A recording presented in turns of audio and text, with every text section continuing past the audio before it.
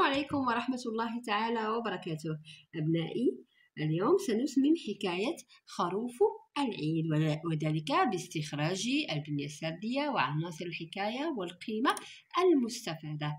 نبدأ بعناصر الحكاية. من يذكرني بعنوان النص؟ خروف العيد. ما هو الزمان أبنائي؟ عندما اقترب عيد الأضحى وكذلك الأسبوع الموالي ما هو المكان؟ السوق منزل حمو وبيت الأرملة إذا من هي شخصيات النص أبنائي؟ حمو وأسرته الأرملة وأطفالها ثم البائع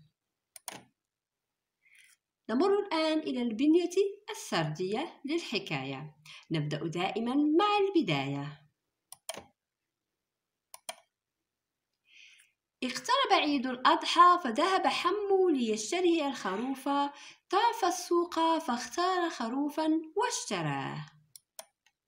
التحول عاد حمو إلى منزله فاستقبلته أسرته فرحة. دخل حمو إلى البيت ونسي الباب مفتوحا.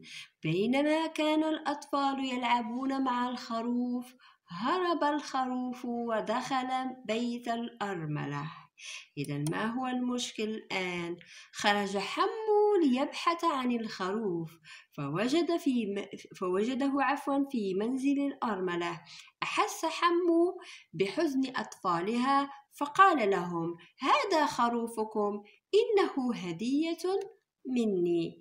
إذا المشكل الذي صادفه الآن أنه يلزمه خروف آخر. إذا الحل في الأسبوع الموالي عاد حمو إلى السوق. فصادف وصول شاحنة محملة بالأكباش وعندما أراد التفاوض مع البائع قدم له الخروف هدية لأنه أول زبون وأنا أقول لأنه رجل كريم وطيب. إذا الآن نمر إلى النهاية السعيدة. عاد حمو إلى منزله فرحا وتعجب الجميع للصدفة العجيبة. كيف أهدى خروفا وحصل على خروف هدية. إذا أبنائي ما هي القيمة المستفادة من هذه الحكاية؟ هي قوله صلى الله عليه وسلم ارحموا من في الأرض يرحمكم من في السماء. نعم أبنائي فهذا الحديث يحثنا على الرحمة. وكذلك التضامن. الرأفة. وكذا الكرم والسخاء. إذا فكرم حمو هو الذي جعل الله أكرم منه. إذا كما قال الرسول صلى الله عليه وسلم لا يؤمن أحدكم حتى يحب لأخيه ما يحب لنفسه.